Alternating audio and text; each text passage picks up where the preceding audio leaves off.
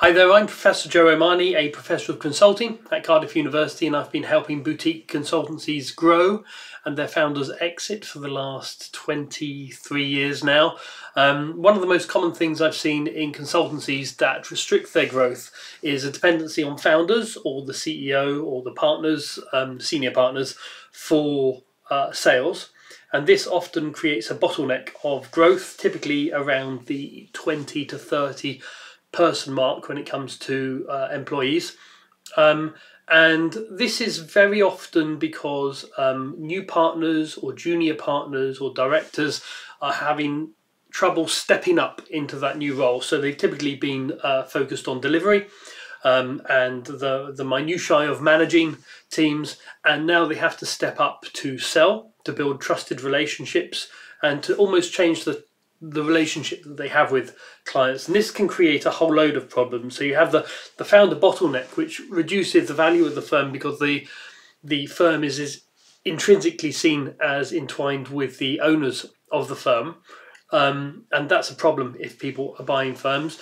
It limits growth uh, in terms of revenue but it also limits margin um, because you're not necessarily selling the right type of stuff. And it also affects you know partner motivation or director motivation in terms of they're perhaps not doing the job that they have been asked to do and are being are getting quite frustrated uh, with it. And of course the owner or uh, seniors in the firm will be get, getting frustrated with them because they're not hitting their growth targets. So this is quite a common i'd say it's it's in the top three um, common challenges of boutique consulting firms above 20, 15 to 20 employees. Um, but I've seen it in firms of 100 plus as well. Um, typically, they will have three or four partners or founders of the firm, but literally all of the client contacts will be coming from them, and most of the business development effort will be coming from them, which really restricts their ability to exit the firm, but also for firm growth. So, what I've done, and this has really been going on for 20 years or, so. So, with my professor hat on, I uh, research what works.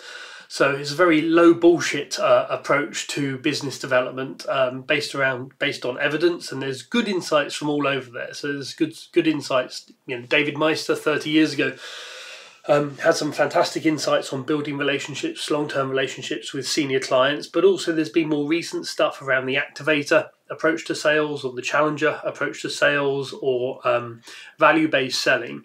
So I've accumulated all of that, those different approaches to evidencing what works and put them into this program, but also based on my own experience over the last 20 odd years of dealing with growth and exit in professional service firms. So this uh, this training program is really the culmination of all of that, um, and um, it, what I've done here is I've put it all online. It can also be deli- delivered virtually by me, and also delivered face to face by me. So if you want if you want those approaches, do please have a look.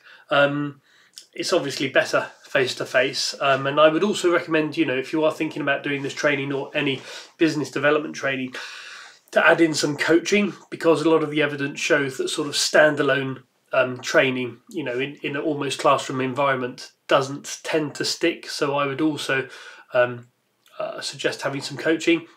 If you're doing the face to face or the virtual approach, I've also got a benchmarking questionnaire where I can benchmark the strengths and weaknesses of your senior team in terms of business development.